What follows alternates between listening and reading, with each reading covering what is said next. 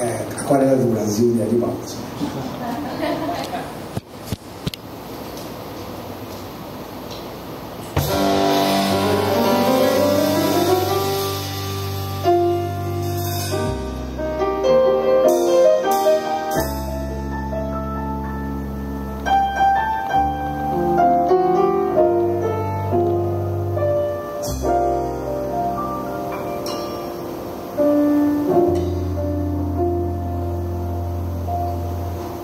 Thank you.